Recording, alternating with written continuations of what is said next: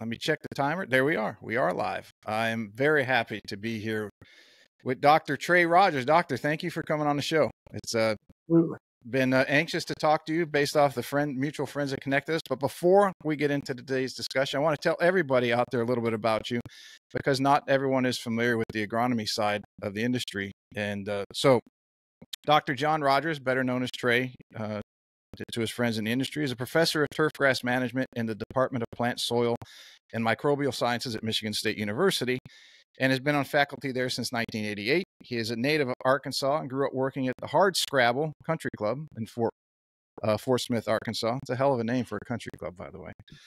Uh, he received his Bachelor of Science in Agronomy at University of Arkansas in 1982 and returned to be the assistant superintendent at Hardscrabble, Hard Scrabble Country Club in 1982 and 3 returned to University of Arkansas and earned his Master's of Science in Agronomy in 1985 and a PhD in Agronomy from Penn State in 1988. Uh, since 1988, he has advised and graduated over a thousand students. Current turfgrass research interests at Michigan State include performance turf renovations, turfgrass established, and soil modification. Served as a lead scientist for the indoor, indoor turf project at the Pontiac Silverdome for the 1994 World Cup soccer matches, and project leader of the Spartan Stadium turf grass conversion in 2001 and 2. Also, a turf consultant, project leader for the 2004 2008 Summer and Olympic Games and the 2008 UEFA Cup. You consult on courses, athletic fields, turf grass matters, and extensive. Uh, are extensive throughout the United States as well as around the world China, Greece, Japan, the Dominican, Argentina, Brazil, Australia, Wales, England, and Spain. it's a hell of a resume you got here. Uh, national and international lectures and presentations are uh, total over 185 with 115 publications and a book. Uh, you are the senior author of two U.S. patents, and national organizations include the American Society of Agronomy and the Crop Science Society of America. Uh, gee, that's almost a book in itself. You've been a pretty busy person over your career. Well, if you think about it, that's 36 years. So that's, you know, you, you get a little bit there, but that's um, very flattering. Thank you. Yes, sir. Um, you know, this has always been it. You know, the, the, the name of the podcast is Golf 360, and I named it that because I wanted to talk to a wide array of people throughout the industry, not just pigeonhole myself. I'm a coach, you know, I teach. Just didn't want to talk to coaches all the time because that would get boring. I'd run out of people pretty quick. So it, the, the the name is hence Golf 360. So it's 360 degrees of the whole industry, or anything that touches it. But I have always been fascinated since I was a kid and was caddying at how people in your side of the business can take a golf course that is you know, it's green and it's nice and everything, but come like a member guest or a club championship or an event, all of a sudden the fairways are striped or they're checkerboarded and you've got, you know, you grow the rough to frame it and the greens are done unbelievably well. And, and the difference at such a low level of grass from the green to the fringe, second cuts and etc. But it's almost like you're artists. Um, so I don't know if, if you and people in the industry view yourself as such. I know you're in, you've done research, and I believe you're more of a researcher since your superintendent days. But would you consider that side of the business a, a, an artistic, as long as in unison with the scientific side, which you're you've been in mostly? I think one of the first things that you hear, learn from anybody who teaches turfgrass science or in or mentors someone in turfgrass golf course maintenance is that this is an art and a science, right? I mean, you know, you, I love to hear that word that uh, superintendents like to throw around. Uh, Carl Olson was great at it. He was a former USGA agronomist and then worked at National Golf Links. He called it presentation. How do we present this golf course? And I think there's a lot of that's a word that's used by a lot of people. And so it does have an art and it does, but it also has a science component to it, so that uh, you know how the the soil and the turf grass uh, work together, along with the moisture that's in both those, both the soil and the grass itself. So that's one of the things that you know when you come to school, uh, we teach the science. We when we send the students out on the internships, that's when they're learning the art. You know, we're not the artists. I always tell the kids when they first day, I said, I don't give a damn how straight a line you mow. I just need you to know why you're mowing and what the importance of it is. And how the fact that by having where where mowing frequency lies in the importance in the hierarchy of having an outstanding golf course. Mm-hmm. So, you know, one of the things that you like about that stripe, one of the things you like about that member guest, one of the things that you thought was impressive, but you might not have known that since Monday, even though you saw it on a Friday, that patch of turf had been mowed 12 times, 12 times in four days. Whereas on a normal week, it might be mowed twice. And so, you know, anytime you're seeing that, you know, on a tournament on a TV, you know, you're they're seeing the intensity really, really ramp up as opposed to a normal week. And so that's um, it's been always, you know, it's impressive. It really is. It's but it's not something that is normally sustainable, right? From both the uh, from both the, the grasses standpoint, you know, it can't be mowed four or five times a day, not very well. And then also the labor standpoint. Yeah, you'd have work. to have a, a, pretty big budget to be running four uh, well, times a day over the same fairway. just man think hours. About the, just think about the poor guy. I mean, if I told you you got to, oh, by the way, you're going to loop three times five days in a row, you'd say, I don't think so. right? And that's the same thing that happens here. So, you know, that's that's it's really what's fascinating about the industry because you know being here long enough is that you know that intensity, that mowing, that frequency of mowing, we've known for a long time how important that is. But to actually be able to get out there and do it, relatively impossible on a long term basis until, until robotic mowing came along. Hmm. And now that it's here in a big, big way, and um, the sky is the limit now in the type of conditions you can provide. So you you watch over the next five years what happens to some of these uh, these golf, golf courses and athletic fields. They'll really take off.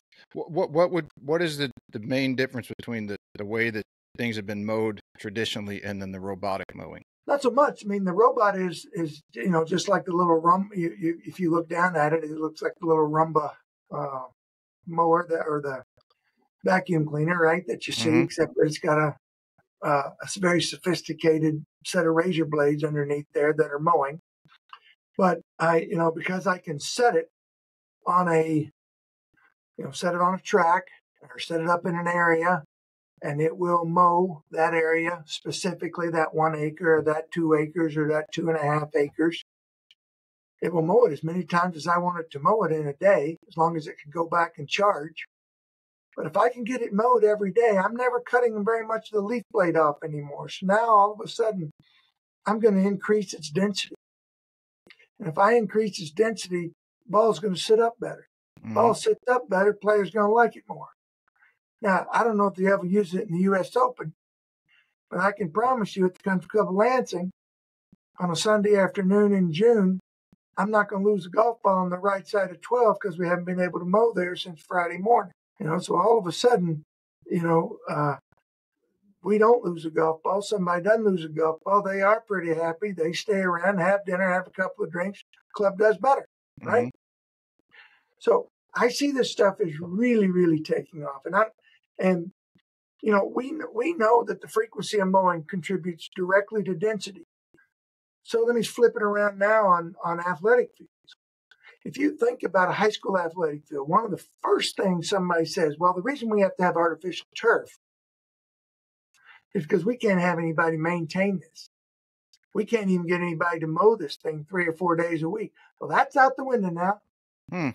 Right? That's gone. That excuse is gone.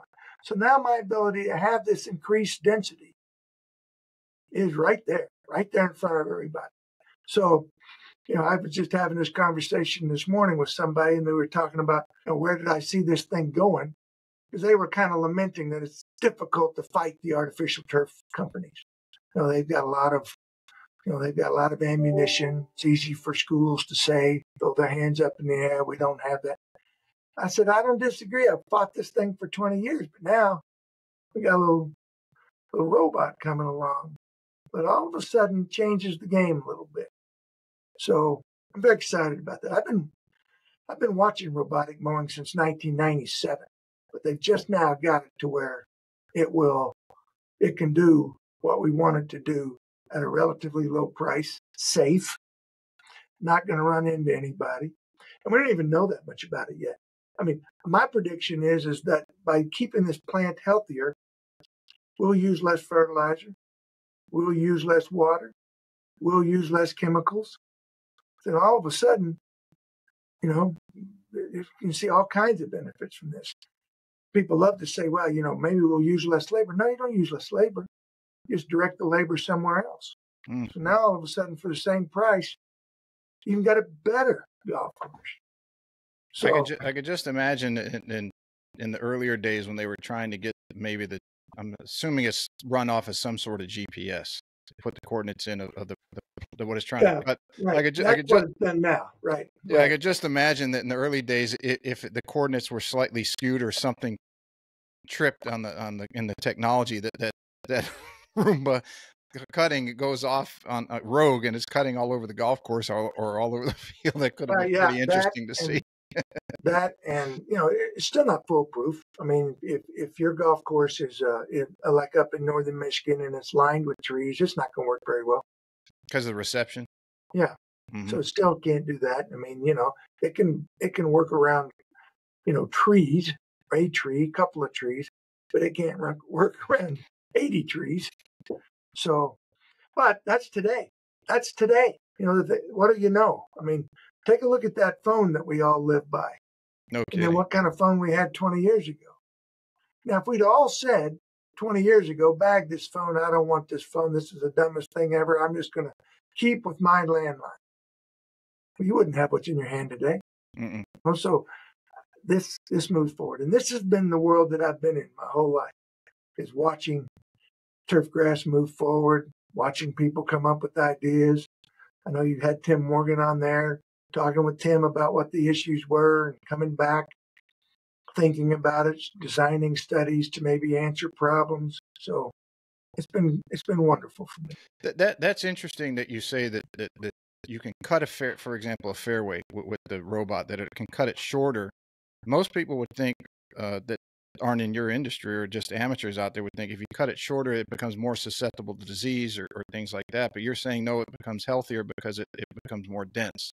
So it's, it's, it's growing more because, laterally than it is vertically. Yeah, because spreading. what you're doing is by mowing every day instead of mowing like if I mow once a week. Let's say let's just take a height of cut, and I let's say it's one inch. And if I mow once a week, then when I get back to it on Sunday, it's going to be three and a half inches tall and I'm going to cut it back to one inch. And that's going to be what's called scalping. Mm-hmm. And nothing is worse for a grass than any than that.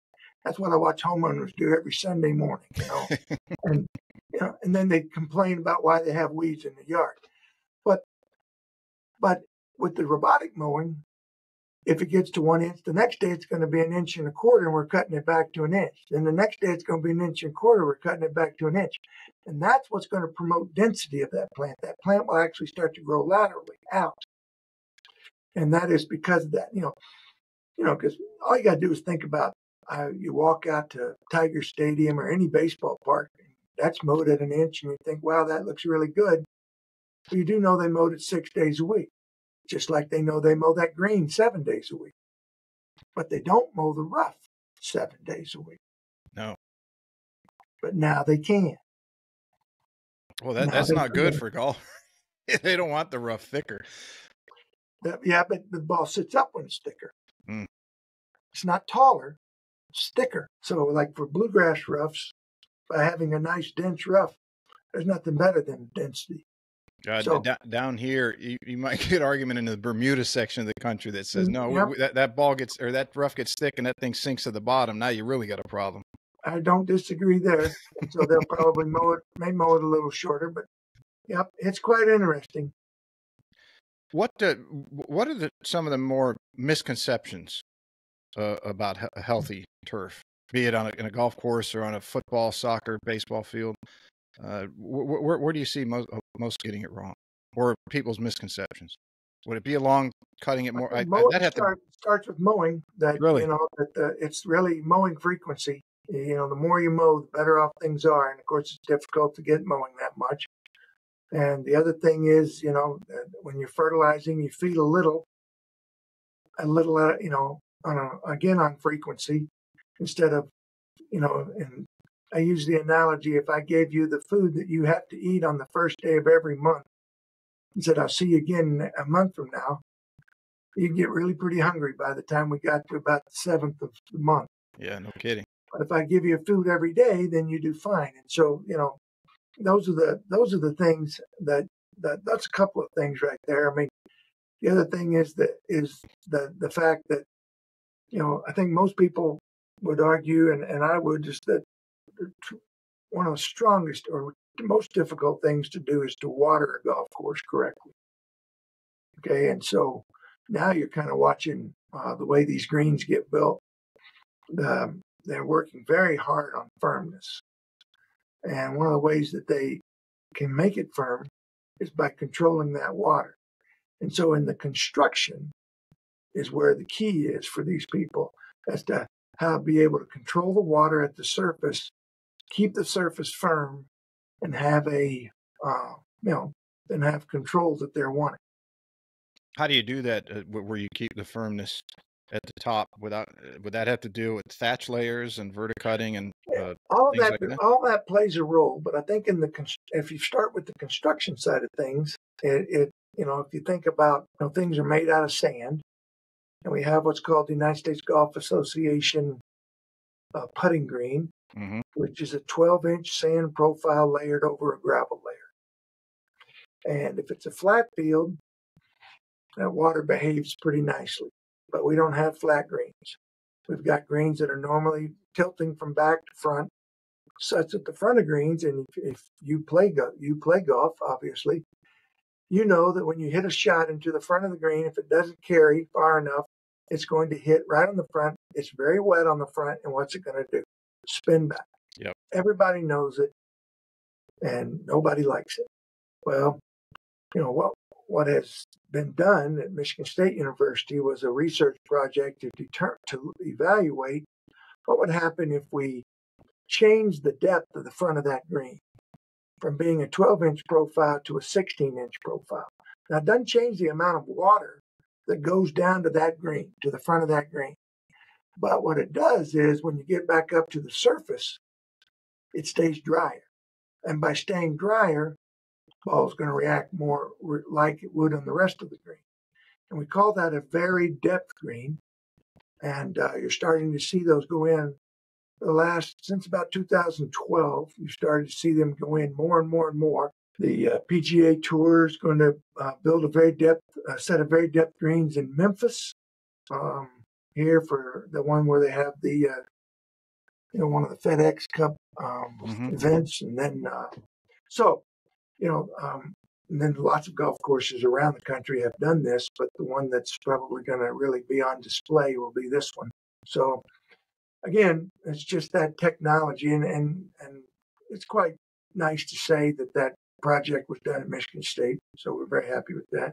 D- does that allow the firmness? Because as you said, it went from 12 inch depth to 16, so that, that the water can be drawn down out of that. It goes from 12 inches to 16 inches. Yes. so, so it, does that allow the water to to uh, be absorbed and get through the soil quicker and, and out the bottom? Not necessarily. Think about it as it, by making it deeper, it's just a reservoir.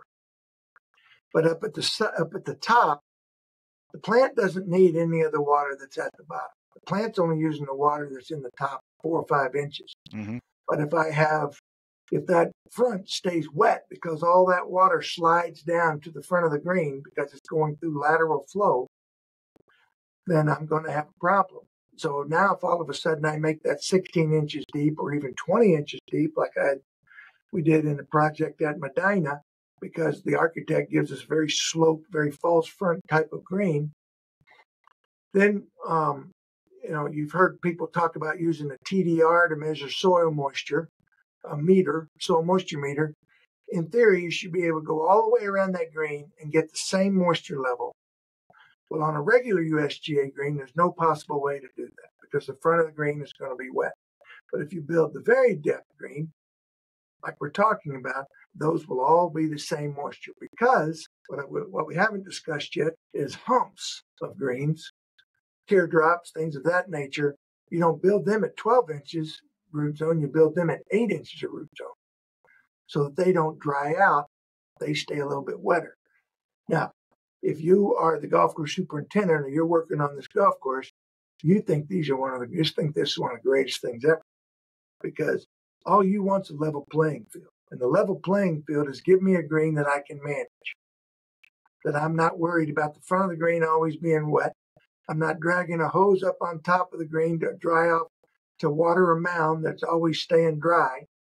But by varying these depths on these greens, I get I get the even moisture, soil moisture in the top two or three inches, and the player's happy because they get a consistent bounce, and the superintendent's happy or the manager's happy because it's a much easier green to manage.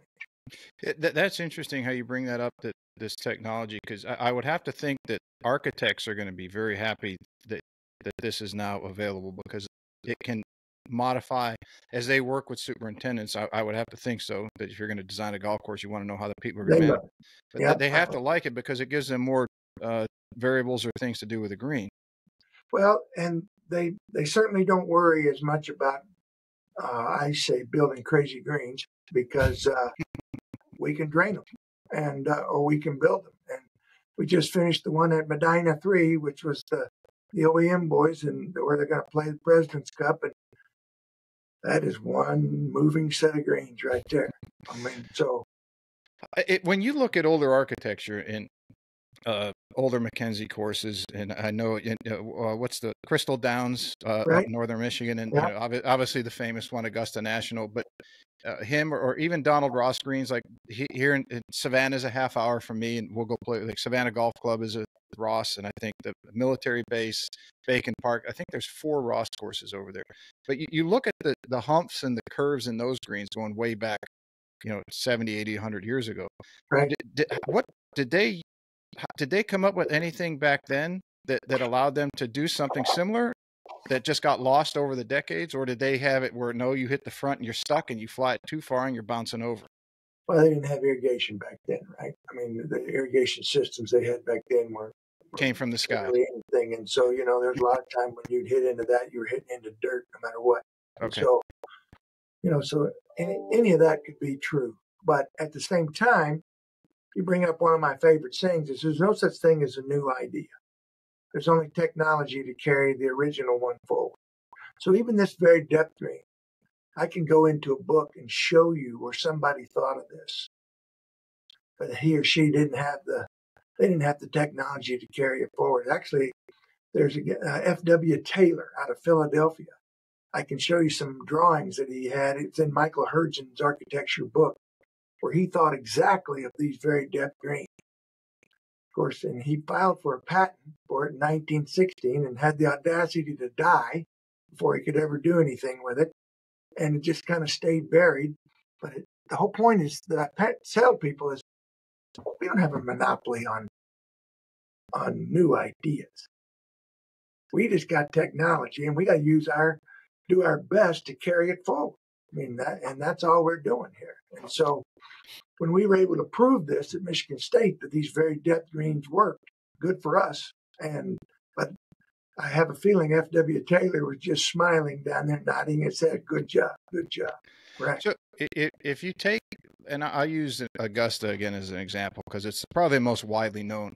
I, I sure. as we talked in the pre, I, I knew Michigan State's course, but that was a course from uh, 40 years ago. Oh, it's not, not quite the same as back then.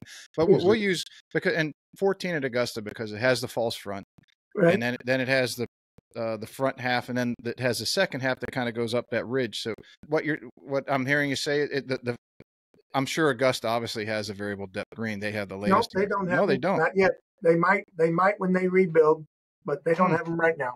Okay, so that was going to be my question: is if you took a green like 14, the front is going to have certain depth to the false front, then the middle is going to have another have depth. 16 to 20 inches of root zone, and then back on the humps where the water I'd want want it to stay a little wetter.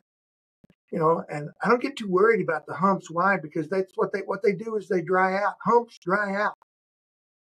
And by the way, I never put a hole location on a hump. No. A ball doesn't even stay on a hump.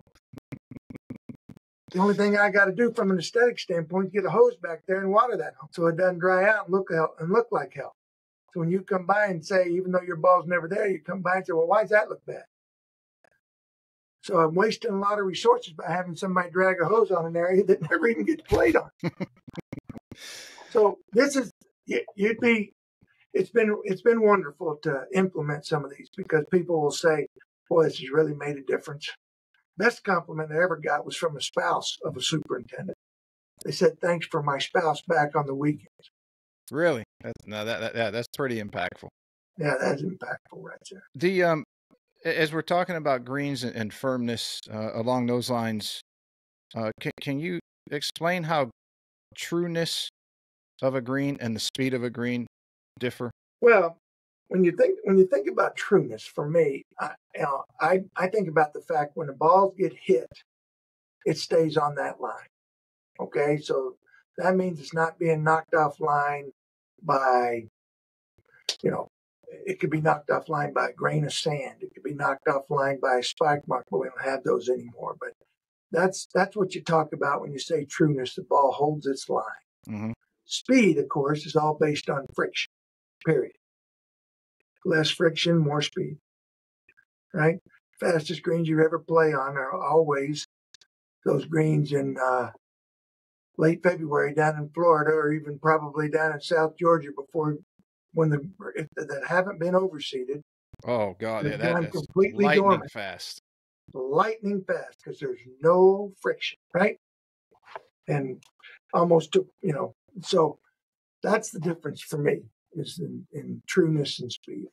And, you can get, how how would you get one versus the other? Because if one's, it seems like they run congruent, but they also are, are separate of one another. As you just well, described. they do run, they do run, pair, they do run fine. But you know, you can, you know, one of the things, for example, uh, when you have a really sloped green, if I get it real fast, I can't play it. Right, get above the hole, I can't play it at all. So I can have a fairly slow green from a standpoint, if you want to use a step Stimpmeter of 10 as slow, used to be lightning fast when I first started, but um, but at the same time, I have to have 10 because of the slope to those greens. Otherwise, I, it'd be a five and a half hour round for everybody that played it. Right. But it doesn't mean that I can't be true. Okay. So I will have had, you know, my mowing would have been good, my verticutting would have been good, so that I would be having the plants at a density that would provide that trueness. So that goes back to your the, the frequency of cutting that the plant is growing. Let's I'll just and, as a rude crude term, I'll say the plant is growing horizontally, so there's more density, and that uh, it, it, can be slower, but it can be smooth. That plays a role, and also another management practice called vertical mowing or verticutting, where you're kind of trying to thin it out a little bit so that you get a also a trueness as well. Would brushing be part of that as well? Brushing can be a part of that, right? You know, we didn't have brushing was something that if you looked at a mower prior to 1972, you wouldn't have seen you you would have not mowed without a brush. And then brushing went away, and then it kind of returned again, probably around 2005, 6, 7, 8, 9, 10, as people kind of reintroduced brushing. So it's in the same vein. Hmm. Gone for a while. It's very interesting that that yeah, you if, if you have the fundamental good practices of your mowing, and and you can keep things consistent, you can grow them maybe longer depending on the architecture of your golf course. Uh, you can speed them up, but it, it, it's going to depend on the the slope. I think it was four degree slope is about the maximum you have in a green or should have. Yeah, I mean, if you're gonna yeah for having any kind of uh, playability, I mean, you know, because if you had a and one of the things you were talking about Augusta, Augusta's done a pretty good job of slightly modifying their slopes without anybody knowing about it, right? They're real good at that. Right? And everybody says it's the same green, and you'll find out, nah, they moved it a degree or two. Whereas if we go to, uh, let's go back to green, you were, of course, you were mentioning Crystal Downs, where I know they haven't done anything to those greens in the since they were built now almost 100 years ago. And so they are difficult to play sometimes. You can hit shots there and, and that were great shots and then watch the ball roll all the way down to the bottom of the fairway and just go, uh, there's nothing you can do. There's nothing you can throw do. your hands up. That, that's just the way it and, is. and, yet, if Alister MacKenzie walked right on the golf course, you know, first thing he'd say would be, "Oh, we got to change that because that's not what I intended. I intended that green to be have a Stimpmeter. they didn't even know what a Stimpmeter was back then. But I, he would have been thinking that thing rolled seven, not eleven. So that is what the renovation era has been all about in the last 10, 12 years here in the United States. Anytime you go to a golf course and they say we're renovating, particularly if they've got their old native soil greens, they love, you know, because we have GPS, because we have, we can laser these greens, we can get them back to almost, but we can get them back to where the average golfer says it's the same green, but they've been tilted maybe a half a degree or a degree to where the ball will stay now on the green. And all of a sudden, we got the same green because we can build it back because of the of the technology that we have. Mm-hmm. And so it's been wonderful. And it's been something that's really, uh, you know, since we got this technology, first time I ever saw it was, of course, from Augusta, from a thing I'd seen in Augusta. But, you know, and then from there, it kind of branches out. And they all use it now, right? I mean, it doesn't matter. You move up and down the East Coast, you got Merion, all of them. They've all readjusted their greens to be more 21st century greens. But the members look at them and say, What'd you do? I thought you were, you know, it's the same green. And it's really not. And so that's the beauty of it, right? Yeah. And the best architects, the best architects are the ones that can do that. You know, those are the guys that can that can say that can pull that off and have somebody say it looks the same. Perfect. Yeah, it uh, it's come quite a way since H. A. Templeton wrote his book. The the art was it the science and art of putting and, and greens, where he would take sticks with red string to, to figure out the slope differences where he would uh, graph off all the greens at, at, his course or wherever else he was to, to, to do the calculations on the, the, based off the slope and the, the break. So it, it's l- little uh, improvement since he wrote that book. I don't know how many. Oh yeah, ago. yeah, thank God. But, um, but the only thing that's improved is the technology, not the idea. Yeah, like you said, it, it's uh, the ideas were there. They just didn't have didn't know how to go about formulating the implementation or they didn't have plastic, or they didn't have a cell phone, or they, you know, satellites. What, yeah, the technology. The, the the other big one that a lot of people talk about, and you see them argue or disagreements and and fallacy and uh, well, what's the word today? Disinformation. We'll, we'll use that one. Is grain and uh, you know you've got different courses and, and, grasses around the country. You got Bermuda down here in the south. You got the bluegrass and rye up in, in the Midwest, Northeast, I think, and then the POA, a lot of it out west, and even I think I think Oakland Hills has a lot of POA. There's lots of annual bluegrass in Michigan and New York and and, and Long Island and and uh, you know Winged Foot. They redid their greens in 2020 for the U.S. Open, and they they cut the annual bluegrass, which is POA. Uh, they cut the annual bluegrass off, set it under the shade, built the green, put the annual bluegrass right back on. Uh, it's not. There are some people that think this is an absolutely superior putting surface, and they're not going to change this at all. Mm-hmm. And there's others that say we'll use the bent grass, the new bent grasses, and and when we renovate, we'll use this because we feel like we can get the putting speed. We feel like we can use less water, use less use less chemicals. So we're going to go that direction. So it's really you know what somebody becomes comfortable with. I don't I don't get hung up on you know which way they go. I will say that you know when somebody starts talking about grain, I can yes I will see grain in warm season grasses. I don't see a lot of grain in cool season grasses, and and I also see where a putting green that's well groomed. It's where that superintendent is working hard to make that trueness, as you've said, as you've said, the grain is difficult. It's difficult to find grain at that point. That's what the superintendent's trying to do is to keep that grain from being there. Now, sometimes it's hard just because you get a a slope off of a green where 100% of the water flows off of. That can get grainy pretty quick mm-hmm. on warm season grasses. Not so much on cool season. It is is the argument go? You know, Johnny Miller used to talk about the the grains growing towards the setting sun, and then you've got some people say it, it grows towards the water. Yeah. Uh, there, if there's a pond, like uh, the old, and I, I haven't or played. The low spot. Yeah, the low spot drains off.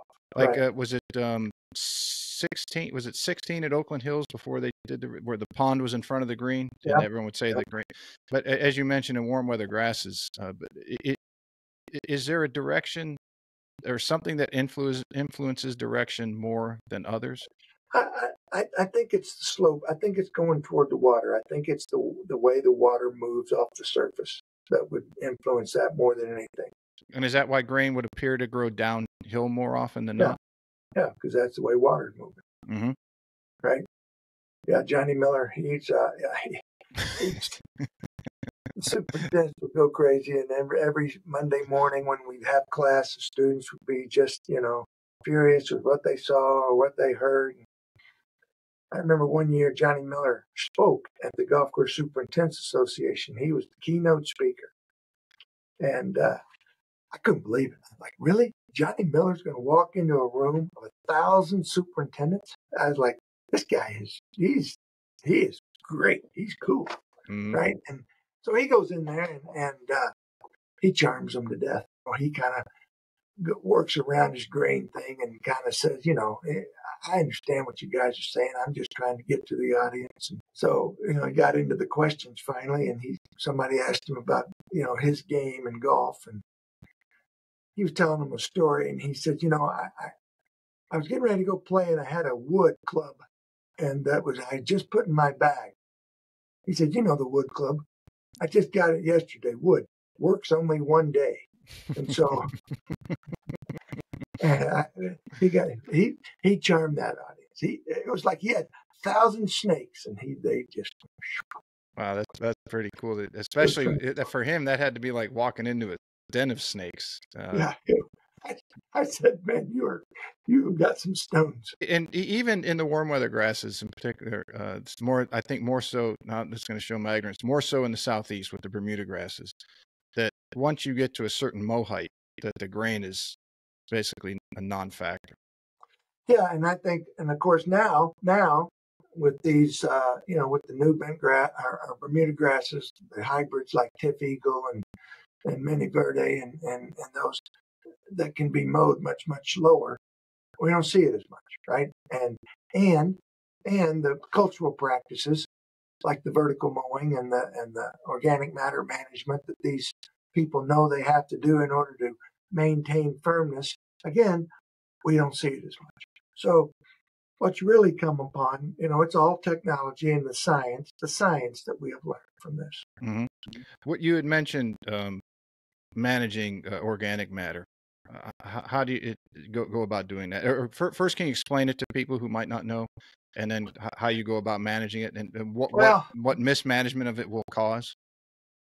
Yeah, so I guess the, the, you have to start off with, in order to have a putting green that is considered to be firm, it has to be dry. Now, the way that it's going to be dry is it's going to be well drained, and that well drain is going to come from from having a sand based green. So I've already we've already talked about the USGA green and the depth. Mhm. So so that's one way. That's the starting point of keeping that dry. Now, um, those sand grains, the space in between them, which is where the water drains, is called a macro pore space or pore space. I call it macro pores.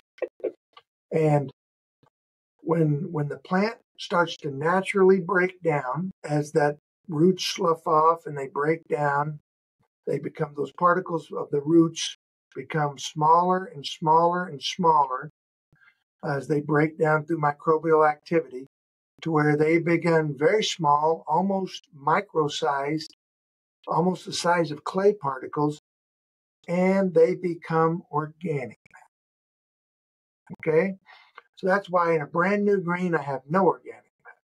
Come back a year later, I got 1% organic matter in the top inch. Come back two years later, this is if I've done nothing. Come back two years later, I'll have 3% organic matter. And three years later, I've got a disaster Hmm. because I haven't managed my organic matter. So, if you are that superintendent, you are managing organic matter not a whole lot different than I would be sweeping the floor. Okay, I'm sweeping my floor to keep my dirt off my floor. I've got a, I've got two doors that are constantly open and dust is coming in, and I've got to keep this swept. You say, well, and I, and why is it so important? Because uh, you know I, that organic matter begins to fill those voids, and now all of a sudden that water doesn't drain very fast. And if the water doesn't drain very fast, it st- it sits up there in that inch or two, stays wet, stays wet, and that's the problem that we have. So we have spent lots of money, lots of time, lots of research in how to manage this organic matter. I, we could talk for hours, but it, and it would bore the hell out of most people. But the, the but the fact of the matter is is that it's a 21st century problem. If I go back prior to the 20 to, to 2000, I won't find any real work on organic matter done by any any researcher. Hmm. And we didn't have the tools to manage the organic matter. We didn't have we didn't understand how sand top dressing worked with organic matter. Even today, I'll I'll read articles from people that, that are, you know, it's reminding me all the time of how relatively new the understanding the role of organic matter plays and how we have to manage that organic matter. And certain grasses will produce more organic matter. There's a great fallacy that, you know, Bermuda grass A produces more organic matter than Bermuda grass B. That's probably not true. It probably is true that Bermuda grass produces more organic matter than annual bluegrass. It probably is true that creeping bentgrass produces more organic matter than annual bluegrass. Okay? So I have to manage them differently. And the way I manage them all gets managed, it's all based on, you know, how many months of, of a year am I playing? I'm playing 12 months a year on, on bent grass in Atlanta, Georgia. I'm only playing six months a year in Rochester, New York. So all of these things play a role into how I have to manage my organic matter, manage my turf, and some people it's superintendent's extremely exciting to probably half the audience is listening right now. They say, "Can you move on to another subject?" But uh, no, it's very interesting. The, the the the the difference. What what would be the difference between organic matter and thatch to build up on a green, or, or is there one? Thatch is on top. Okay, so the organic matter the organic gets down in into the, the more into the organic matter in the soil. Okay, right. The thatch is on top. I, I, I'm not going to get down to the thatch. Once I get through the thatch, then I'm at the soil. Then I'm going to get into the organic matter that's in between those soil particles. And and what is the practice to to eliminate or maintain uh, the organic matter as it gets into the soil?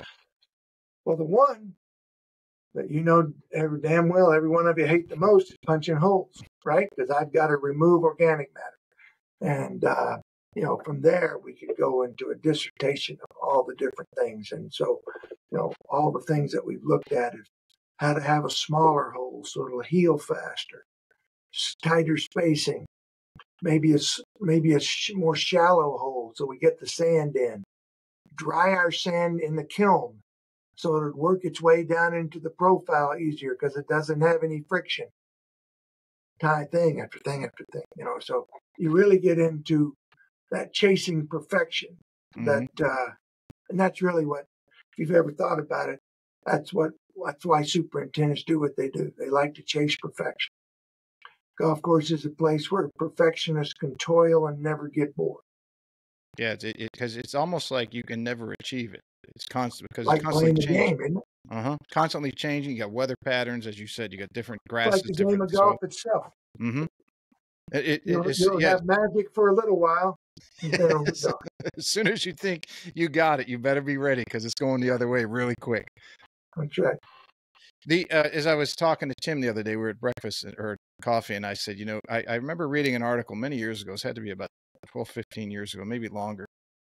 And it was a superintendent who had grown up in in, a, in an area uh, close, maybe close to Arkansas, where you maybe he was in Oklahoma. He was out. He was that part of the country, and he had grown up there. And I think he tried playing the pro tour and, and didn't make it. Uh, went home, ended up becoming the superintendent of this golf course. Even if you said it, I wouldn't remember. It was a long time ago yep. that I read this. But he, he became very well known for the maintenance of the golf course. And when he was visited by some, I think the USGA, some of the officials went, not Tim, but some at that time. And and one of the the key features of the articles was that he didn't aerify.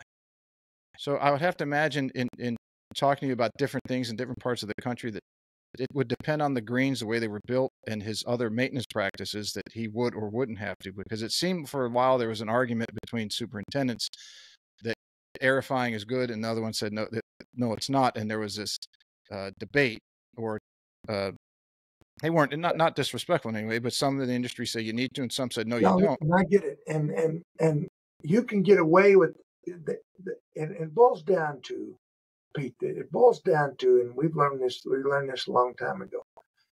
I can get away without aerifying the if a golf course green is constructed a certain way. If a golf course green is constructed like a USGA green, I would argue it's almost impossible to get away from aerifying just because of the way the water, you know, the, the green is built so that you're not constantly having to water. Okay, it's got a gravel layer that kind of helps to hold the water in. The other types of greens that are built are ones that don't have that gravel layer, but might have a drain set of drains called it's called a California green. Now that kind of green you can get away with in theory, no, um, you know, no cultivation. And I, you know, here at Michigan State, I watched um, Kurt Thuemmel longtime superintendent at Walnut Hills, which was only a couple of miles north mm-hmm. of Forest Akers where you played. From 1981 to 2015, he did never cultivated his grains. Had some of the best grains ever. Now, what did he do? I used to tell people, here's the thing. First of all, he didn't have a USGA grain, so this is one of the reasons why he could get away with it. Second of all, he's the first guy to top dress, and he was the only guy that's ever top dressed. So he, so anything that had been done, he knew exactly what he had put on that green. The third thing was he was anal to a point of almost difficult to work for because every two weeks we verticut. I mean, every week we verticut, every week we brushed, and every two weeks we sand top dress. And he didn't care what the excuse was. We were doing it. So, and that's all about maintenance, right? And if you think about it, you know, it's not a whole lot different than the guy who says, I got to go run today. And if I don't go run today, I'm going to punch somebody. Yeah, you're going to be miserable. And so, but in his mind, this was his way that he kept up with the organic managing the organic matter. And then, because what he was doing instead of removing the organic matter with the punching of the holes, he was diluting the organic. And again, you could get away with that, not to get too deep into this, but it was because of the fact that of the construction type of the grave. Mm-hmm. And, did he know that, or, uh, or did he, he just did. figure out a way that, that he didn't? Or he, he and I had that, person. He and I had that conversation um, a lot of times. I know that he was probably about three years into it in 1985. And this was a couple years before I got there when he said, "Why can't I do it this way?" and he went to talk to one of our soul professors named Dr. Paul Rieke, who's still alive. And Dr. Rieke said, you know, and, and again, again, you got to remember now, it was 1985. So in 1985, the idea of sand top dressing on a frequent basis was only about four years old. Hmm.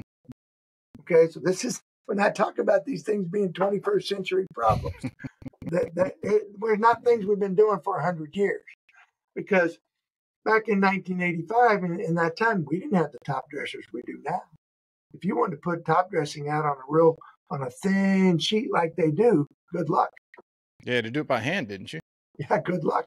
We didn't have a machine for it. Mm-hmm. We hadn't asked that, the superintendent hadn't asked that company and said, Here's my problem. What can you build? They had said, Well, I got an old manure spreader. yeah, that's not going to work. But if you flipped it around, yeah, the guy says, If I flip it around and I put a different uh, bell on here and another whistle, it might work. By, right. And herein, this is how every piece of equipment's been developed by need. That's that's very interesting, very cool, actually. Uh, I uh, when I got when I was a senior in high school that summer, I worked at a golf course, and the back nine was new. They had just built it, and the uh, the the uh, what hole was it? I think it was a 17, 16, 15th hole is a par five, and and over half the fairway, 500 some yard par five, and I would say 350 yards of it didn't grow in. So we had to uh, lay the seed, and which was the easy part, and I didn't know the hard part was coming. But then they they drove the dump truck out, and they said we got to we got to throw dirt over this, and I said why? They said because you don't seed doesn't grow on top of dirt; it grows under. I said okay. Yeah, well, yeah that I said, I said yeah. who's going to spread the dirt to over top of the seed? And they said you guys are. so they brought a dump truck out, and they would slowly jump off some some dirt piles, and guess who had to go shovel it and throw it by hand over the. That's right. It was that was not fun. Uh, yeah, that that tech or that. Uh, that was technology in the late '80s for us, or for yeah, me. And, you know, the science behind it hadn't changed. It's just now we've got ourselves a top dresser where you can put that seed out and I'll drive that top dresser over the top of it and lay out about an eighth of an inch. And man versus machine, machine wins. There's one of the private courses here that in the summer, a lot of the members in the summer will go into the mountains because we get we get pretty hot around here. You know, on the coast, the southern point of South Carolina. So they'll they'll go up to uh, Boone, Asheville, Greenville, uh, further, some go up to Vermont and Maine. But uh, what the superintendent would do in the summertime was, I think it was every Tuesday uh, afternoon, he, he would top dress every green mm-hmm. every week. And then come mm-hmm. the fall, uh, early October, and mid October was when they would have a member guest. And those greens would be like glass. They were unbelievable. Sure. And he was the only one yeah. around here that would do that. He, he had the ability. Most of the other courses had full full year play, but he had that ability to do it, and it was unbelievably right. different. Right yeah, you know, um, old old saying is golf course be easy to maintain if it wasn't for the golfers. The um, Bermuda seems to be creeping further and further north. Is is that an effect of changes in climate, or is that an effect of grasses becoming uh, adaptable to, to colder temperatures? What, what what is the, the cause of that?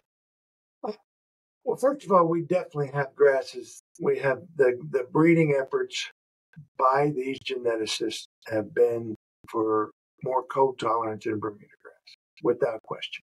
All right, so to provide a solution for a place like northern Tennessee, uh, southern Kentucky, Missouri, play, or uh, St. Louis, things of this nature, right? So no question there, no question.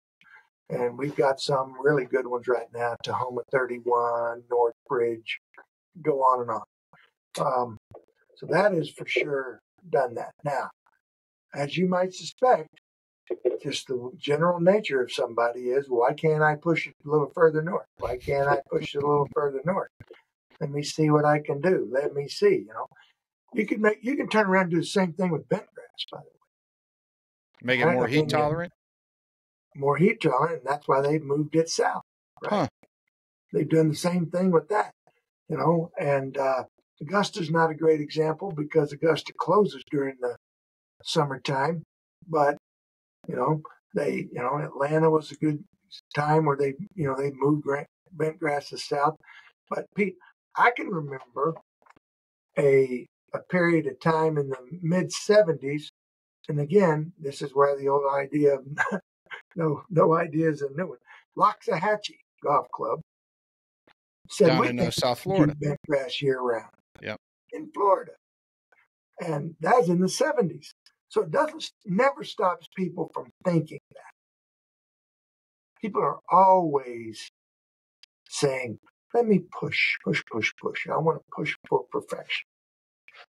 You know, and I think we saw the difference in Augusta, uh, the way it plays in the spring when it's traditionally held, in the the COVID year when they moved it to October because it yeah, was. That's, that's a good point. That that you all everybody got to see uh, just how soft that golf course was, mm-hmm. and uh, you know, uh, give credit to Augusta because they let everybody see it. They didn't have to, and and uh, I think they've, you know, they're they're still our bellwether, no matter what anybody ever says. You know, I, I love it when somebody says I got the Augusta syndrome, but I always say, do you realize how much Augusta's done for the golf course mm-hmm. industry? How much it trickles down to all of us, you know, and yeah, yeah, okay. Well, we get a little pressure every once in a while, but but some of the techniques and some of the technology that Augusta's asked for, and then eventually gets its way, builds its way into the industry. You can almost, uh, don't get this the wrong way, you could almost take it almost like the United States Army. You know, some of the things that the U.S. Army tested, yeah, it always tested in the Army first. It goes through them because they've got the money, right? Mm-hmm. The, They're never going to say, "Well, that's going to be too expensive for us to test out." They're not going to say that. A, a, lot of management practices. Uh, I've talked to a number of friends who are in the army and military. Were were first implemented in, in the military to see how they would uh, work, and then if, how they need to modify, and then they slowly shifted it, moved it into the private sector.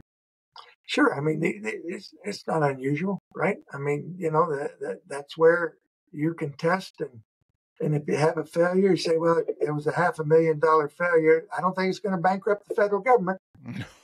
but it might, but it might bankrupt the startup company, right? Mm-hmm. Right. So, uh, you know, I, that's why I'm always like, go Augusta, go, go. A new idea, go. There's two places in the world that I, that I think lead this, and the other one you may not think about much, but it's the other place in the world where I think is hallowed ground for turf grass, and that's Wimbledon. Mm-hmm. You go underneath the ground at Wimbledon, you will find some of the technology that is just phenomenal. They are 10 years out with projects that they are planning right now. Same with Augusta. You know, they, they've got these plans for things, but they have the infrastructure, they have the money, they know they're going to, you know, and they know they're going to be in front of the world every year at the same time. So two two two hollow pieces of ground. Another example would be uh, uh, not so much turf, but Churchill Downs, right, where they mm-hmm. run the Derby every year. You ever go there, you can see the infrastructure there is out of this world.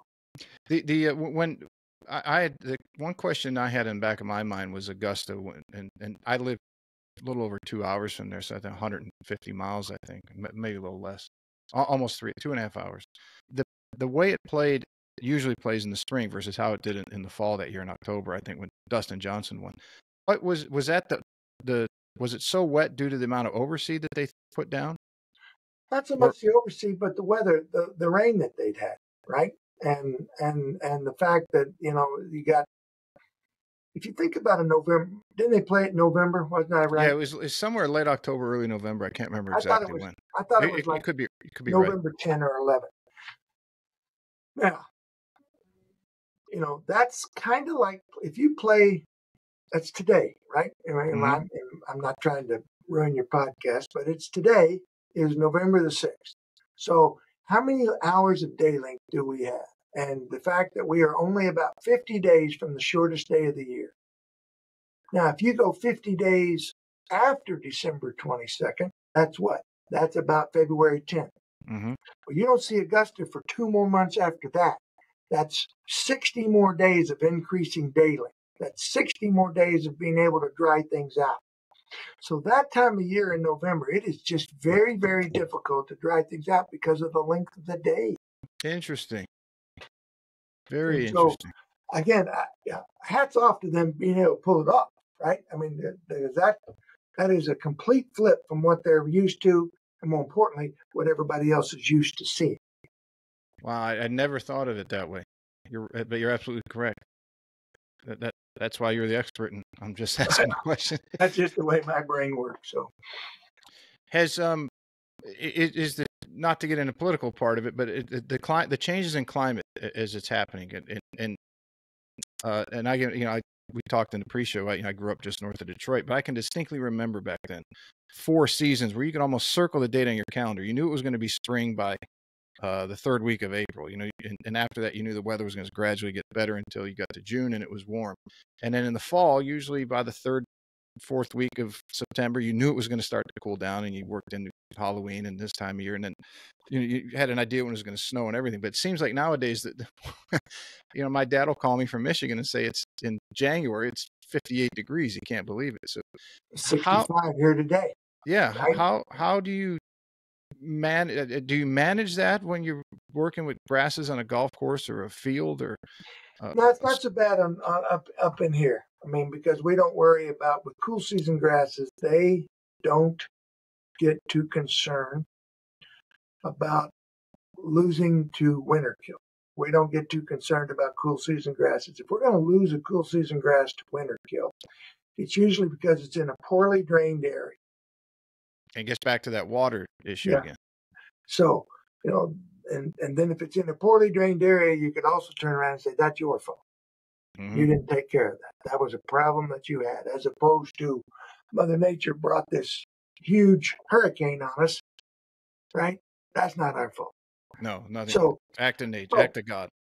Right. So and so um, with cool season grasses, it's not as big a thing. Now, interestingly, with warm season grasses, it can be. It can be.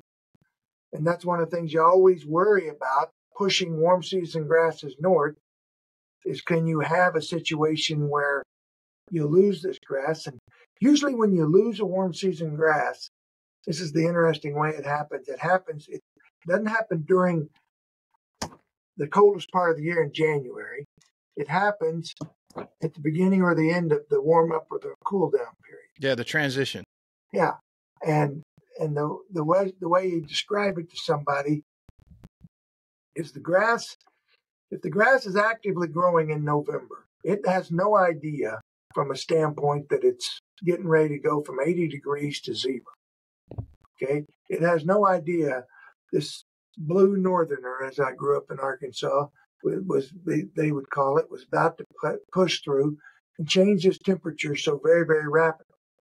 Because when it does change that temperature, because because what it if if it if it goes down gradually, the plant has a chance. And if I change it from 80 to 70 to 60 to 50 to 40 over a 2, 3, 4, 5, 7, 10, 12, 15 day period, the, the amount of water that's in that plant or in the cell of each one of these plants shifts.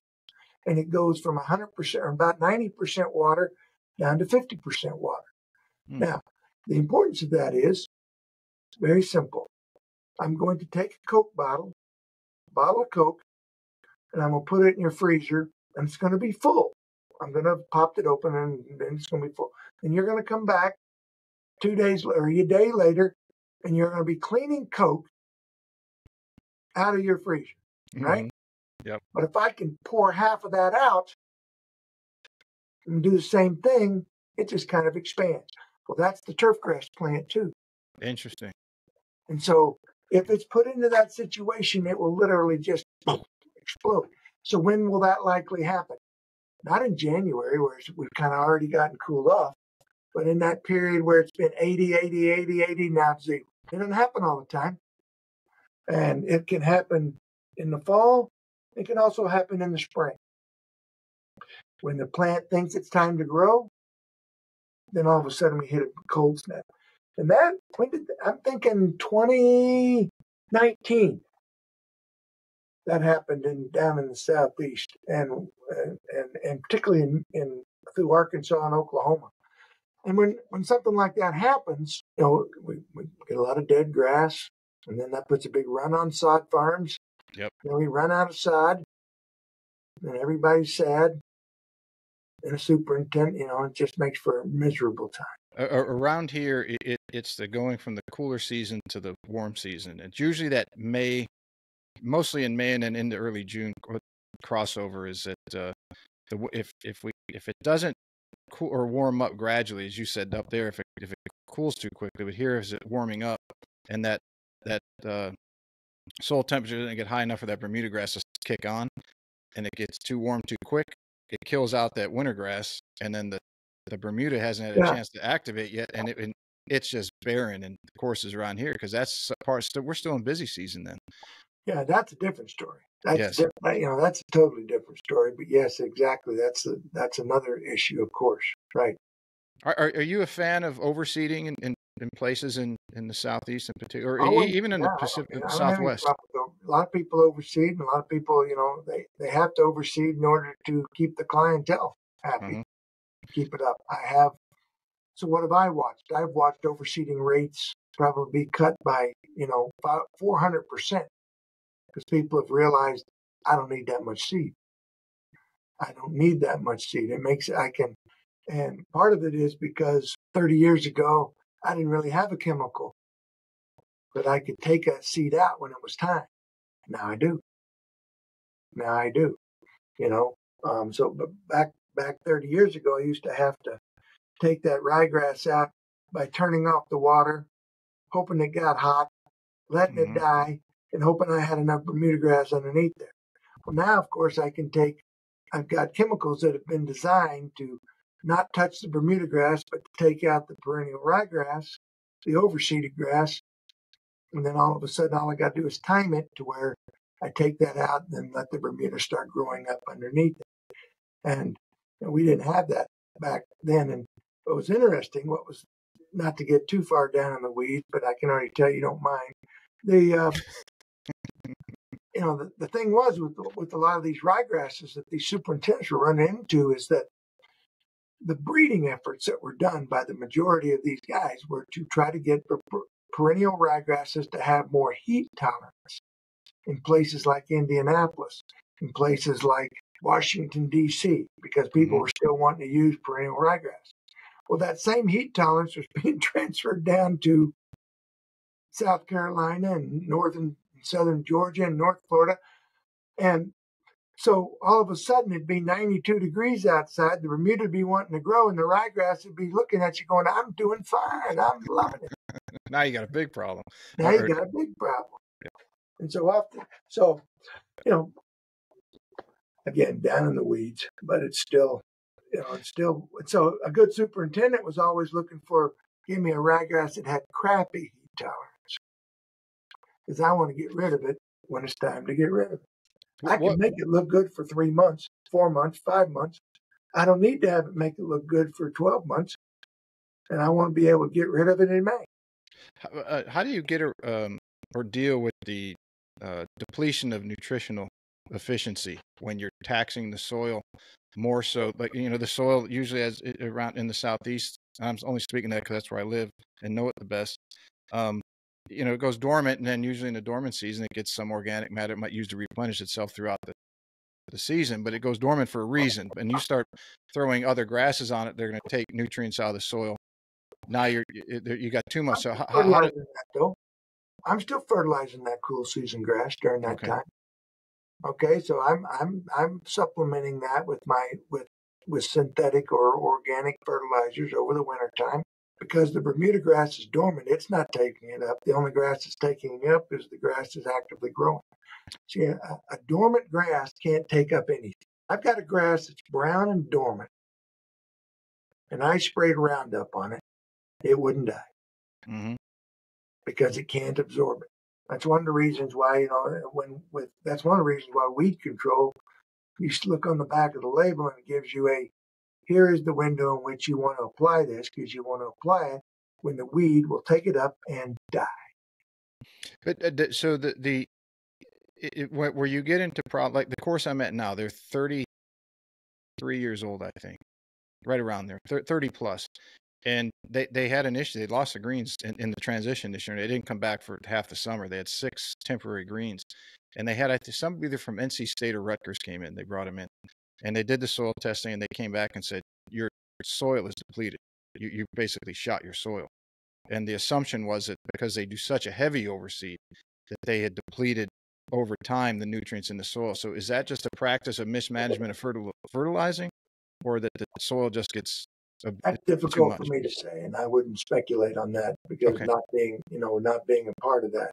Um, but you know, there's there's and there's lots of things that can cause a Bermuda grass to thin out. It could be shade, mm-hmm. you know, from trees. There's there's and it can be you know heavy overseedings, and so that that grass gets difficult difficult for it to come back. But and it can be it can also be the winter kill that we just discussed. You know, so there's you know it could have died way before we even covered it up with ryegrass. Yeah, because for for years I've heard around here the argument for one is don't deplete your soil.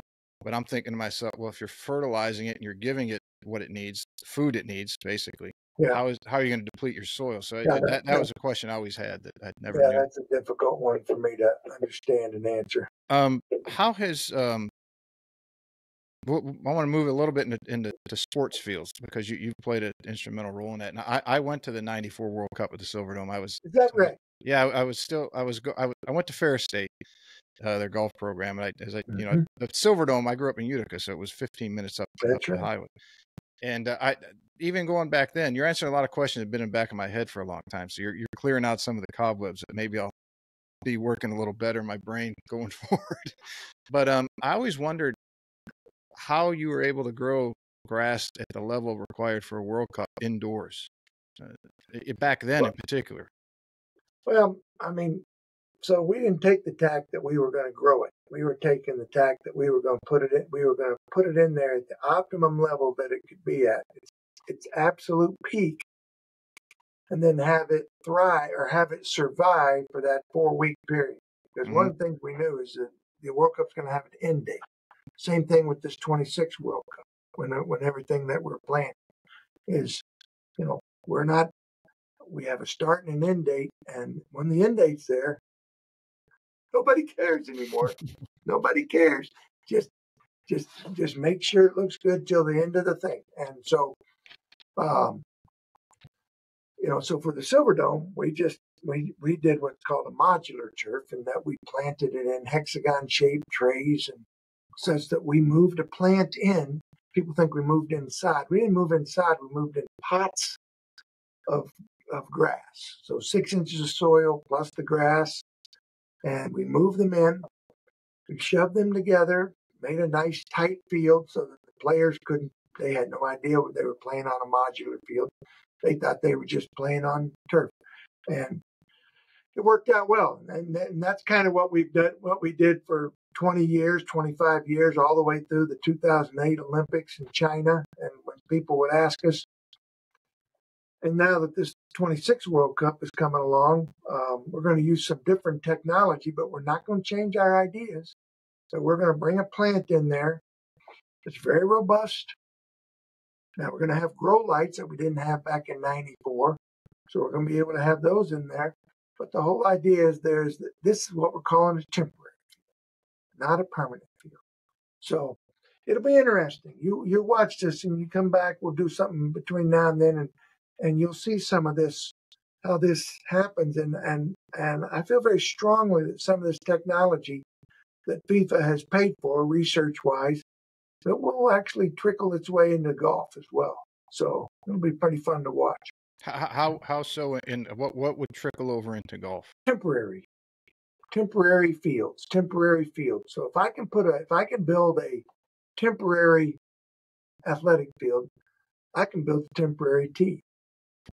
Wow. So like I'm working on a project right now down in Florida, and I'm trying to talk that superintendent, and I think he's buying it. Is that you know because half of his tees are, you know, because as you know in Florida, when do they play? They play October through what, May? Mm-hmm. And then May through October, it's just a bear down there from not so much from the standpoint of the heat, but the rain. So this golf course is kind of in the Myakka River area. So if it's in that river area, a lot of these tees actually are under, they talk about them being potentially underwater where the architect wants the back tee to be. Not underwater in May, not underwater in March, but underwater in, in the July summer. and August. Yeah, they get those three thirty or four o'clock rains for yeah, so 20, 30 minutes. river comes up and it floods, and so, but not in February, not in March, and that's fine. So it's like, well, why don't we build temporary tees back there, so that when when we get into when we get into June or July through October, there's not a tee back there for us to worry about. Just an asphalt pad. It'll so bring the temporary tee in. So it's like putting a, uh, pieces of a puzzle all together. Bingo. That's pretty interesting. I was, and the one I was thinking of would be for a driving tee box uh, at a very Absolutely. very busy place. Absolutely, but um, in this, I'm just giving you another example of things that I've been thinking about. So, and that's in high traffic areas because uh, you know you mentioned Wimbledon, uh, and, and the, the baseline obviously gets a lot of wear and tear. And on right. you, you, you watch football on TV, and the, the middle of the field will get a lot of wear and tear. Is the same concept would would would it be used there? Well, it already is. Okay, so when I watch when you watch an NFL game and you look in the middle of the field and it's worn out, and then the next week you come back and it's not worn out anymore, it ain't mm-hmm. because grass grew back. It's because they resodded it with big roll sod. See, Big Roll Sod is the savior of the sports turf world. We're talking about a piece of sod that's three and a half foot wide, 60, 70 foot long, weighs 3,000 pounds. You put them next to each other, nobody's moving them. Hmm. And so that comes out on a Monday, in on a Tuesday, you're playing on it Saturday or Sunday. Nobody knows the difference. And you just watch now over the next six weeks the number of times you look at a field and go, that just got resodded. Well, that's a big roll sod. Now, golf course industry uses it too. They use it. I watched them use it for doing tees and greens and things, and just because, you know, it's become a, a much more usable tool. Um, but that's a technology that's really developed over, you know, my career. Whereas, you know, at, at beginning back in the 90s, you'd be like, wow. Now, of course, it's of course, that's what we're using. Advancements. When, when, you're dealing with a soccer or football field or even a tennis court where people are moving and, and stopping and, and putting uh, pressures on right. onto the turf, how, how, do you get make sure one that it, it's sturdy enough and two that the seams aren't going to cause someone to get their foot caught, twist an ankle, things like that? Well, again, this this this now goes to the size of the turf because you know we're talking about something that might be an inch and a half thick, three and a half feet wide, 60 feet long. Soil weighs 110 pounds per cubic foot. If you do the math on that, we got a 3,000 pound mat wow. that can only be laid out by one a very special piece of equipment. And then they push these things together with another special piece of equipment such that these seams are so tight. I mean, you can't even find the seam after a couple of days.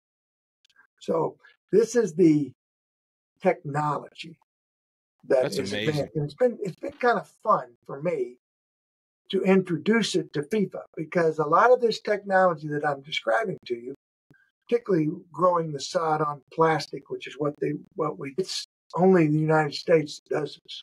Really? Yeah. Oh yeah. We have we have a sod industry that is second to none in the world. Why is that? Is it just not in demand in other places? They don't have the golf course, they don't have the sports, they don't have the level to commitment, uh, return. You, you know, I, I I think, I mean, you can find it in certain places every once in a while, in certain countries, in certain spots, but we just have the number of stadiums, the number of golf courses. Remember, half the golf courses in the world sit in the United States. Wow. I, yeah, that I didn't know. And I've been in golf 40 years. 30,000 golf courses in the world, 15,000 in the United States. That's not too so bad. We have an industry that is just huge compared to everybody else. Mm. Huge. I mean, it just dwarfs, absolutely dwarfs everyone else's. What What is the most unusual request that you've gotten when you're preparing a field or a course or uh, anything along those lines? Have you gotten some crazy requests? Well, um, smokes. Uh, I remember when we were doing the Spartan Stadium. Spartan Stadium went from artificial turf to natural grass. And the big thing about that stadium was uh, they needed to do some infrastructure to it.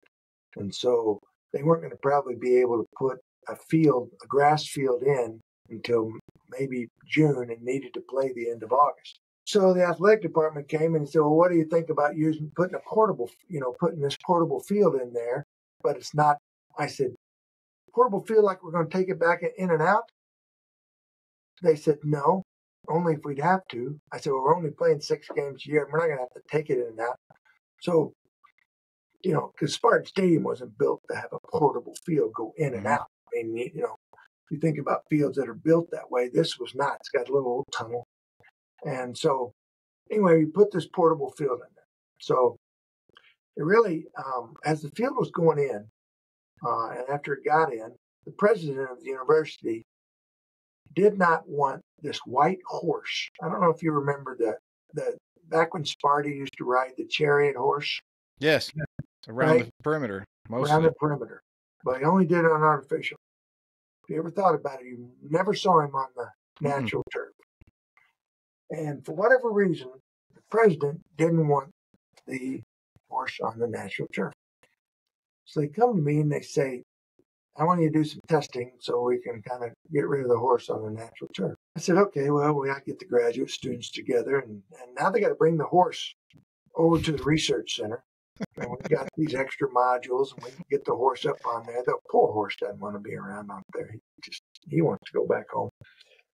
But anyway, he starts running around on these modules, and you're looking for him to cut the grass. And we built it too well. I mean, the damn thing's not going to cut. It's not going to cut up. We've done too good job. And so you'd say, well, make a cut. It wouldn't cut. Make a cut. It wouldn't cut.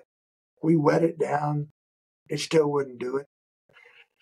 I'm like, oh, shit, what are we going to do? So then uh, we were filming it, and all of a sudden the horse takes a dump right on the field, right on the practice field. And I go, there's our answer. There's our answer. Because now they've taken a dump on this natural grass. I said, we won't be able to clean it up totally. We won't be able to disinfect it because you'll kill the grass if you disinfect it. And God save a linebacker if they all of a sudden, particularly the opposing team, pummels their face in there and catches some sort of rash and dies. That's good, Dr. Rogers, they said. The horse won't get to run. And so I got to tell you, that's one of the strangest things. no kidding. That one of the most natural things on the planet. Save the save the day. Yeah. Well, and it took it, it, it, you know, I had no idea how we were going to pull it off. I mean, I, I, still, to this day, I mean, you know, the guy could have said, that's not it. That's not working. I don't know what we'd have done next. You, you, you never know. You just do what you do, and you never know the answer that, that's going to be put in front of you. Yeah, yeah. Well, and that's kind of the whole project, what we're doing right now with this World Cup project for 26. You know, new issues come up all the time, and, uh, you know, it's a big, big, big project. I mean, I it's imagine. huge. How, how many sites uh, are coming 16, this time? 16 wow. sites, three countries. Eight of the sites are artificial or be, will be temporary turf, meaning they don't have natural grass in them now. And five of those eight are domed. So bad, we got more times five. Right. Well, we got a big, we got a nice team. We've been well funded uh, by FIFA. They've recognized it. This is the first time FIFA's funded research, turf grass research. So I've been very proud of FIFA for doing this. And, um, you know, the, the thing is, is that what's cool about it is they funded it. And the other thing that's cool about it is where it could trickle down mm-hmm. to the next group, right? To the next group of superintendents or the next group of field managers. Yeah, the, and, the, uh, the, data that you're going to get out of the experience, the what to do, what not to do. Yeah, will will trickle down, and you know, you don't to get seven figure funding, which, you know, we this is millions of dollars of funding that FIFA has provided, both us and the University of Tennessee. We're a joint project with the University of Tennessee. I think that's an important thing to know is that because, you know, because what we're able to do at both of these schools um, just hasn't been done. It hadn't been done. You know, the last time we had any funding to this level was the Silverdome.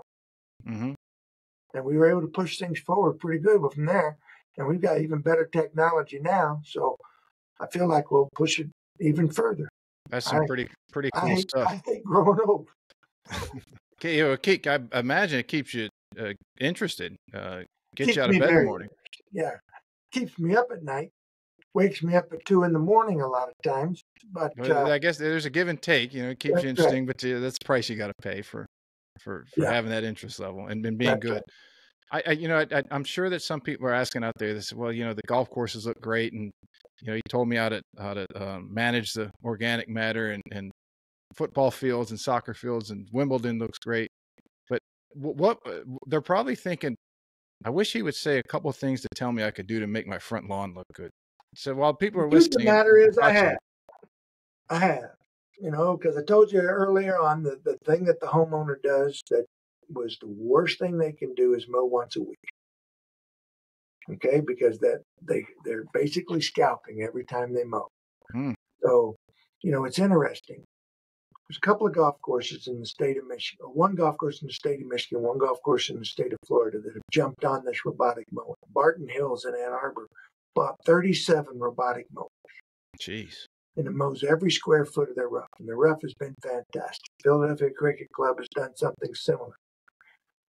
And so, you know, what's interesting is yes, the quality of the turf is great. But you know what the members, when they see that, those mowers say, I need one of those for my yard. Because they also know that if they can mow their yard that five or six times a week, they will, they too will improve the turf quality dramatically. You know, it's one thing for me to tell you to mow your yard four days a week, every other day. And you go, Yay, I'm going to do that for the first week. That's not a whole lot different than me saying, you know, we're going to quit drinking beer or we're going to run two miles every day. We're pretty good for about three days, right? Mm-hmm. And so I get it. I get what you got, you know, but at the same time, now we've got a machine that can actually do the work for us and that can provide that quality of turf that that's the the number one thing that jumpstarts us to having a thinner, a thicker, healthier lawn that chokes out weeds. Because it's that mowing frequency that leads to uh, the scalp turf, that leads to the light requirement that a weed needs to germinate. And then all of a sudden you say, I got a weed problem. I said, No, no, Pete, you got a mowing problem. You're not mowing enough. Mm, I'll have to do that. I mean, I, I have a townhouse, so my I can I'll do get it. You, my, get, we'll get you a robotic mower. That'd be good for you. my, my yard is about, uh, if you took the sidewalk out, it's about 25 feet wide by about 12, 15 feet deep. So I have no excuse not to mow at least three to four days a week. Well, right. And but then that guy that's got the 12, 13, 14,000 square foot lawn, that's a different story. But mm-hmm. I got people in my neighborhood that've got these robotic mowers and, and they've got great yards. They've got great yards. Yeah, I, I'll have to make myself do it. I don't. I've got it. It's sloped in my front yard, so I don't, as little as it is, I don't know if the robotic would fall onto the sidewalk and break. You'd be surprised. These things are tough because you know there are pretty some pretty damn good slopes on these golf course roughs. If someone was used to having a certain height, but now they started mowing, it, it, they could gradually move that mower height down to a certain level, couldn't they? Well, and, and these things have a range of height that they mow at. I mean, I've just been using one because one inch just because I, it was easy for somebody to talk about. They can mow at two and a half. They can mow at three. This mm-hmm. mower, these these mowing these mowing heights can be changed quite dramatically. They're they're and there's there's several of them on the market. They're hitting this thing with great force. Very cool. You uh you have time that we got a little emergency nine, just kind of nine fun questions to wrap up about various sure. things in golf and and what what things that you do and activities you participate in. So um, the, I always tell everybody that all the listeners now know it's been almost I guess six years. The first one and last one. Everybody, I think you're the 155th or sixth episode have gotten the first and the last one. The ones in the middle, we just kind of move around. So it's just a lot of fun to to finish up on. All right. So if you were in a, a member guest and you're playing playing a, with with a friend of yours and, and they're going to play a song over the loudspeakers as you walk up onto the first tee, what song are you going to have them play? You know, songs roll around in my head all the time, um, and so um, you know, I've, I've, got I've got people that I consider to be you know some of my favorite artists, but my still my all time favorite country and western artist is the late great Keith Whitley. So I, he played "I'm No Stranger to the Rain," that would not bother me at all. I'm no stranger in the rain. To the rain. To the rain. Cool. I haven't heard that, so I'll, I'll look that up and check that song out. Um, you had a very interesting career, very well respected and very successful. And let's say Hollywood calls you and they say, Doctor, we've been watching your career. We find it very interesting and we're going to make a movie about it. And we're going to let you select the actor who, who portrays you in this movie. Who are you going to have him select? Man, I don't know. Um, Tom Hanks. He'd be a pretty good one. It's hard to argue against Tom Hanks and his his list of uh, roles. Um, be interesting to hear your answer on this one. Your favorite purchase in the last year under five hundred dollars? Ah, maybe just a couple of weeks ago, purchased a um, a drone that can um, that we can use to take pictures, and so now we can fly it up overhead and uh, take pictures just about anything we want, so we can really evaluate turf grass and and uh, really see differences. You know, used to, I can remember getting 12 foot ladder, putting it in the back of a truck, having somebody climb up there praying to God they didn't fall off. now for two hundred dollars, we bought a drone that could take ten times a better picture than we ever dreamed to take.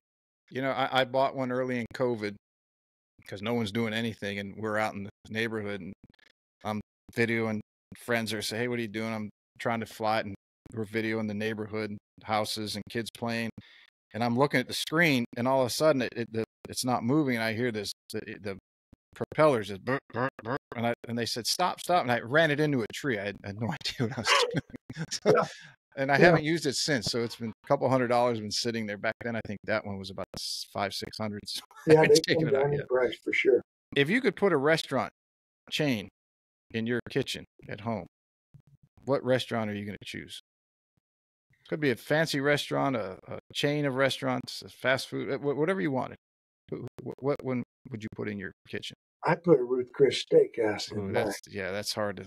You're you're the only the ironically enough you're only the second one who said that, and I'm very surprised that no one would pick that. Most like Chipotle or something goofy, but right. Well, it's hard to beat that place. Yes, it sure is. Uh, which will lead to the next question. In your opinion, you've been around golf your whole life, what is worse, uh, an overcooked, well done steak or iron covers? Iron covers. I think that's been the majority of people have answered that. uh, let's see. If you could sit in a golf cart and talk to anybody you wanted to throughout history, choice is yours. You can pick anyone you want to. Who, who would it be? Easy. My dad. Yeah, that, that, that been a long time. I lost him when I was 33. So that's way too early. Mm-hmm. That is a very good one. If you could pick any of these four golf courses to play, which one are you going to pick? Pine Valley, Augusta National, Pebble Beach, or St. Andrews? Like I say, it's going to probably be St. Andrews. Um, I played two of those. I have never played Pebble Beach. I've played the other two several times, actually. Uh, but ironically, I've never played golf across the ocean there in Scotland or Ireland. And I don't I find a lot of people find that find that very interesting because of the top 100, I think, you know, I don't know what the number is. I've played 72, 73, but I've not played over there. So I think I'd like to play there. Yeah, that'd be cool. And I, I remember uh, t- Tim and I had a conversation one time about technology and the advances and changing and how you use words during lectures and things like that. And I forget, I think it was Dr. Beard because uh, I had a book from his from right. when I was in school. We had to take an agronomy Absolutely. class, and I, I, loaned it to Tim for a while.